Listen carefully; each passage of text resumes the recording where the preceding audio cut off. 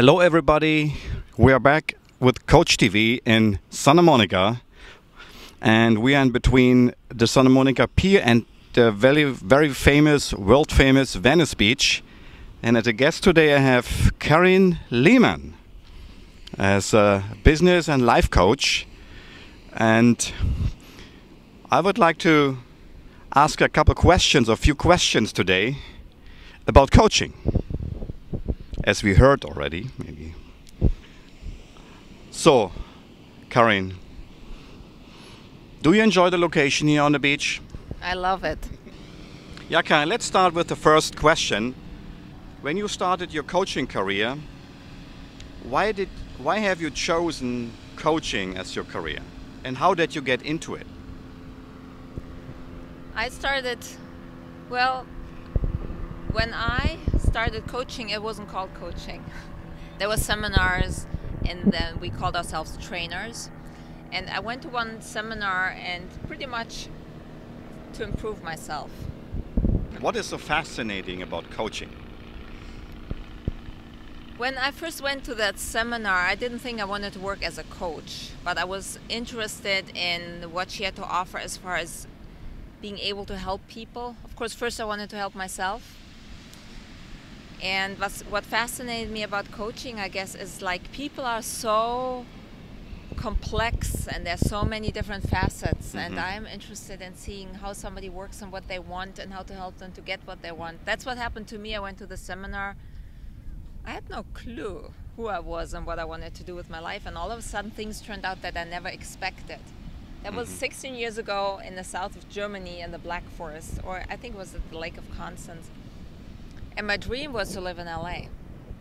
Ah, so you are took the advice, I would say, maybe, or maybe the coaching experience you gained at these seminars and make your dream come true. Is that? Can we say it in that way? First, I found out that what I, my dream was was something I could do. Ah. It's like you have a dream and you think, oh yeah, that's my dream. That could never happen. I grew up in the Black Forest. I never thought I could live in LA. Mm-hmm. But as a little kid, I always dreamt about living in LA. I remember I had little clippings. I had a dream book, clippings of LA and, of course, of movie stars. And I did that when I was nine and 10. I thought it would be really dream come true to live in a place like that. So when I went to my first seminar, all of a sudden I found out why not? Mm-hmm. Why not live that dream? That was the first step. And when did you think about really become a coach because that's what you mentioned before you were just uh, yeah help yourself to change something in your life. But there there's supposed to be i assume a point uh, on the way until now what then you change to say okay now i want to become a coach. That was pretty early on. I took the seminar and there was a certain way of how the people facilitating the seminar, they worked with the participants in a certain way, and what they did is they were reading their aliveness. They found out what lights somebody up. And I had never experienced that before. Uh huh, okay.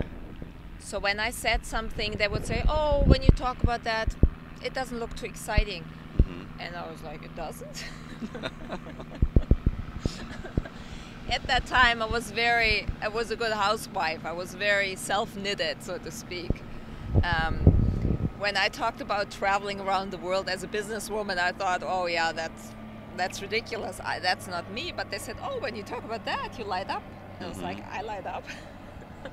that was so surprising and it fascinated me because then I could see it in other people when they asked them questions too. You could see very clearly they talked about something that was safe for them oh yeah, I want to do this and that, and it wasn't exciting. And then they talked about the possibilities. What if, if I could do this? And all of a sudden they got excited. Mm-hmm. And it was for the first time that I learned that what we think is exciting is something we can achieve in our lives. We don't have to go for mediocre safe. So then after the seminar, I would go out and look at people differently. I would look at my kids and, oh, when they do that, they get so engaged.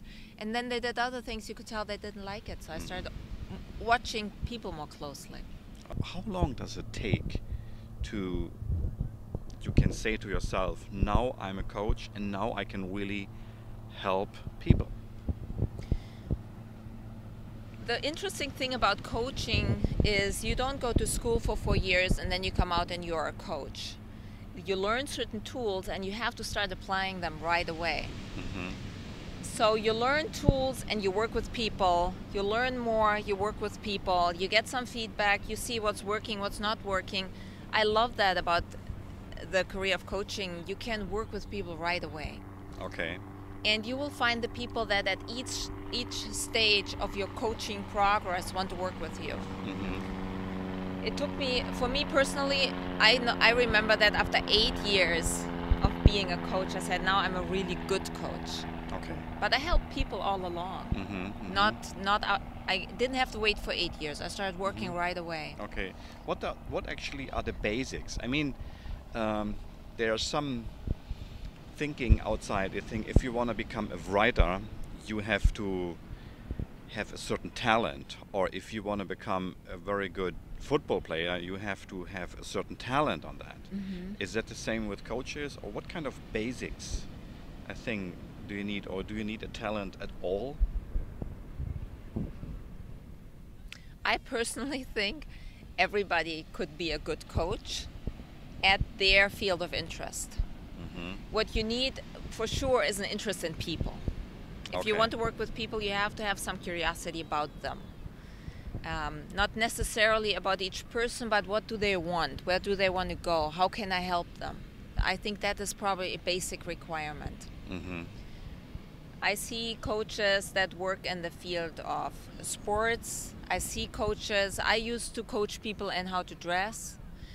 You can work with people on how to parent yeah. how to uh, bring out the best in your kids. You can work with people on how to be a good writer, how to be a good actor. You can. There are so many different fields that you can go into with coaching. I, my my field is I love people and I love coaching, so I help people to learn how to coach, and I coach people to learn how to find their dream and become better people. Did you ever had a time where you maybe said to yourself, I don't want to work as a coach anymore because. I think there was a time where I maybe I had certain expectations of what I could do as a coach. You see people's potential and you see what they could do with their lives, but then you have to deal with their everyday fears and limitations. So I thought, okay, give me a person and I can turn their life around and make it all great. And then it takes so long. Mm-hmm.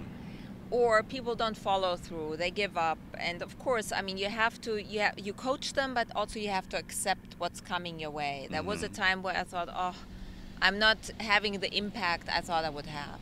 Okay or was disappointed that things weren't moving faster. Mm-hmm. But then it was interesting because I would meet my clients maybe a year or two later, and then they would say, "Remember what you said?" I was like,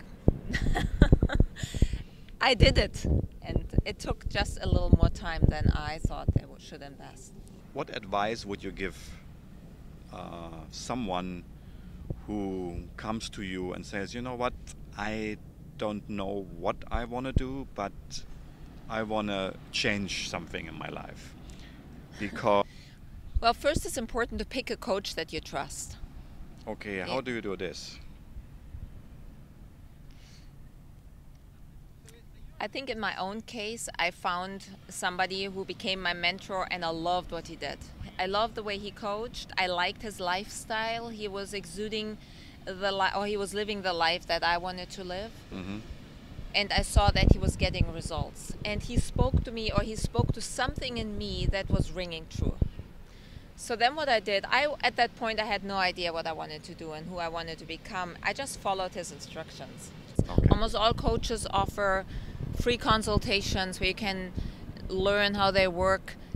I mean, when you talk to a coach and you, you like his approach, you'll know right away. Okay. Is, it's like it clicks. It has to do with communication. They will speak a language that talks to you. Okay. I know that was true from when I was started working with my coach. The way he looked at life and expressed his ideas, it was almost as if I was soaking it up. Thank you for being part of our interview and thank you for listening and watching and see you soon within the next week or two having another Coach TV LA. Thank you and have a great day. Bye bye. Bye bye.